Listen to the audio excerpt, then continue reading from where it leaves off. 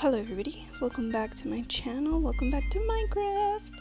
So today, um, actually am prepared for this episode.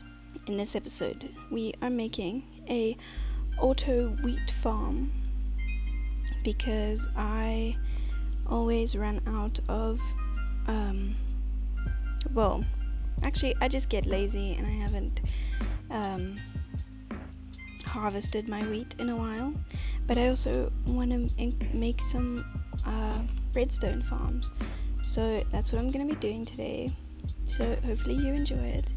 Let's get straight into the process.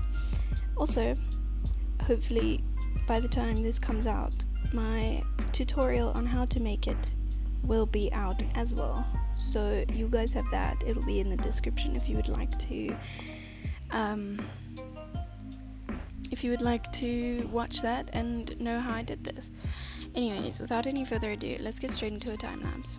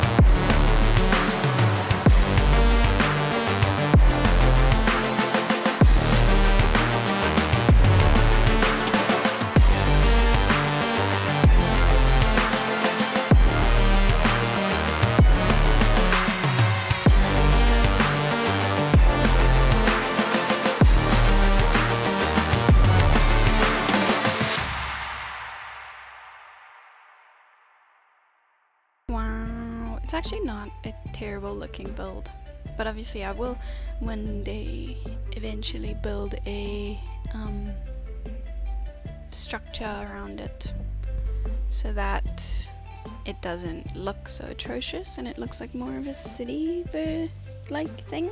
But now I'm just gonna go and plant my seeds, wait for them to grow, and then test that this thing works.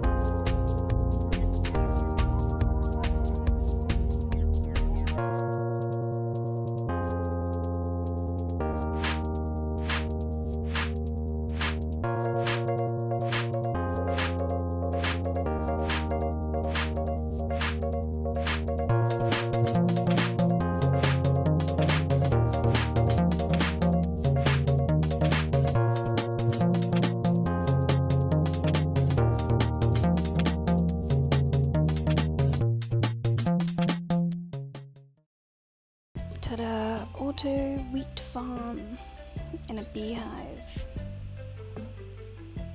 If I jump on this, will they get mad? Auto bee farm. I mean, auto wheat farm. This actually is not very difficult to build. Um, me as somebody who doesn't know anything about redstone can build it. Um, but just make sure if you are wanting to build it that you make these grass or these dirt squares exactly 7 by 7 otherwise the water won't flow down and it will be useless. But anyways that is it for the video guys. Hopefully you did enjoy the time lapse. Um, let me know what other redstone structures you want me to build because I have this whole this whole area. So I would like to build some more and maybe build some structures around them and then make it like a little city. And I can be the little the, the, the mayor on the in my little house on the mountain and I can watch over the people. But yeah, that was it for the video guys. If you did enjoy it, don't forget to give it a big thumbs up. Subscribe if you're new, hit that notification bell. Check out my social media links down in the description. I now have a SoundCloud, so check that out if you enjoy techno music. But yeah, I hope you guys did enjoy. I'll see you guys in the next video.